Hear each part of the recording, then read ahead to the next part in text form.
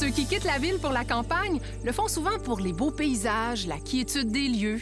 Mais dans le reportage qui suit, des néo-ruraux retroussent leurs manches, adoptent l'agriculture et contribuent du même coup à la vitalité régionale.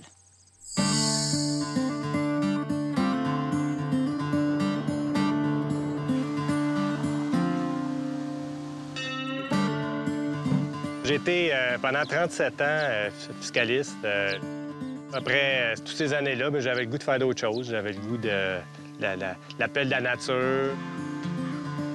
C'est un rêve que j'avais de, jeunesse, d'avoir une ferme. Puis c'est la vie qui m'a amenée ici, finalement. nos projets de vie étaient vraiment de voyager, rester à Montréal. on était bien établis. Toutes ces personnes ont un lien en commun.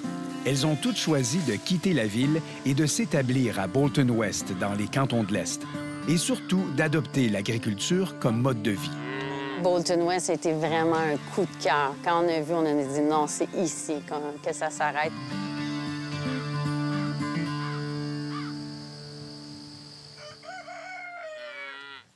Quand je suis arrivée ici à 25 ans, j'étais tombée en amour avec les vaches.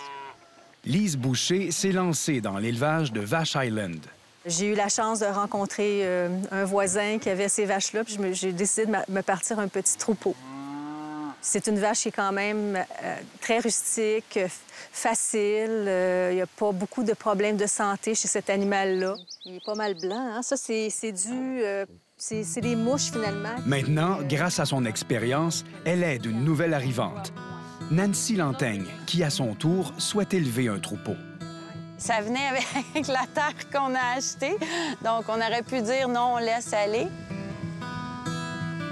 C'est un bœuf qui reste dehors, qui est quand même assez facile, mais il y a beaucoup de petites choses à savoir.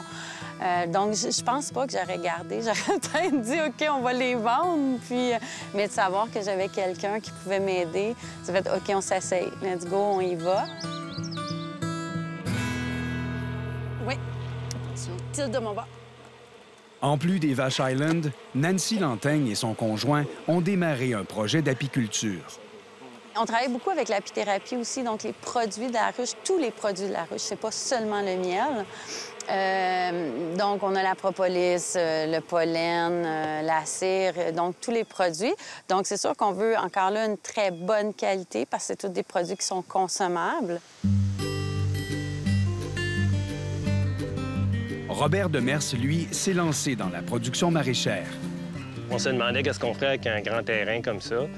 Puis euh, ma blonde m'a acheté un livre sur l'agriculture maraîchère. Puis là, ça a commencé à mijoter dans ma tête.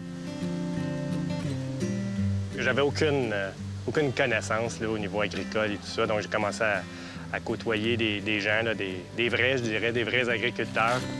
Disons que ça a été un apprentissage accéléré. Là. Aujourd'hui, il produit et vend une trentaine de légumes en régie biologique. C'est surtout du bouche-oreille. J'ai presque pas fait de, publicité. Puis, euh, je vends aussi à des restaurants du coin également.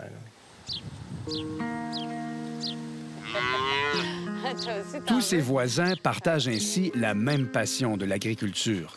Mais pour ces citadins devenus fermiers à temps plein, l'aide et le partage de connaissances sont la clé du succès d'un projet agricole.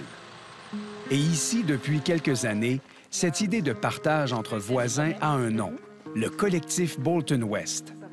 La notion du troc, de voilà ce que je produis, voilà ce que tu produis, on s'échange, on se bénéficie, tu as besoin d'un coup de main. Donc, ce côté de, on appellerait ça un peu le gros bon sens paysan, mais de dire qu'est-ce que je peux faire pour toi?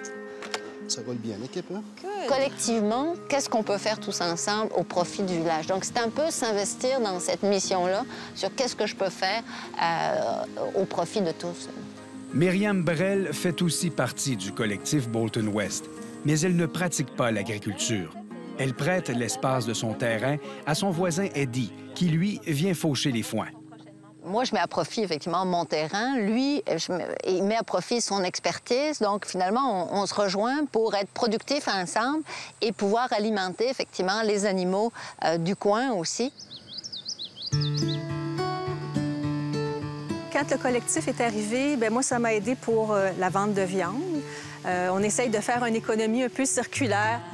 Que ce soit l'élevage de bœuf, la culture fourragère, la production de légumes, de miel ou de sirop d'érable, chaque membre apporte son expertise et son aide dans le but de favoriser l'agriculture locale.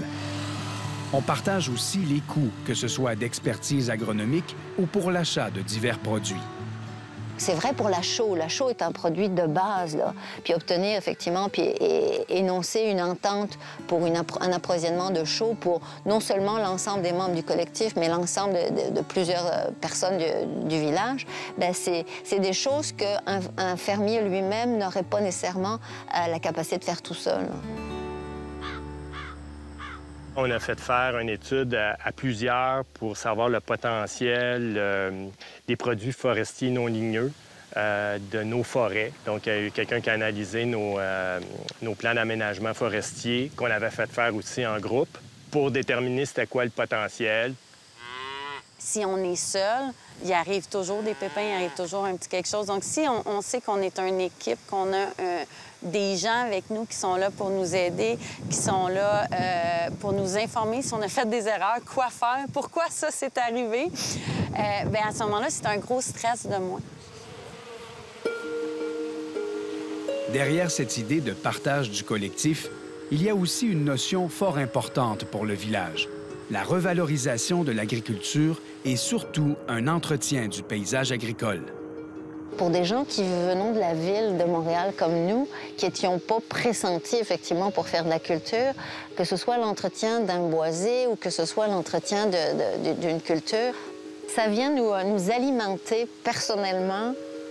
J'ai comme un devoir pour mes enfants puis pour l'ensemble de la communauté à, à l'entretenir intelligemment. Notre bœuf, c'est un bœuf à l'herbe. Donc, il n'y a pas de grains, il n'y a pas d'OGM, il n'y a pas... Euh, euh, nos abeilles, c'est la même chose. C'est notre miel, on n'est pas inquiet. Il n'y a pas de, pesticides dans le coin, il n'y en a pas de monoculture qui utilise de pesticides.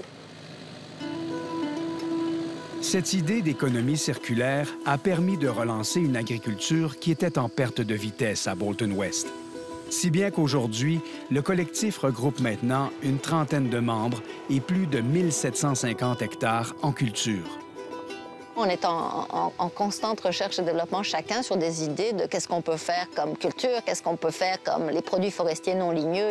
les idées, les idées fusent de part et d'autre. C'est clair qu'il y a une ébullition de sujets puis d'initiatives. Qu'est-ce qu'on peut faire?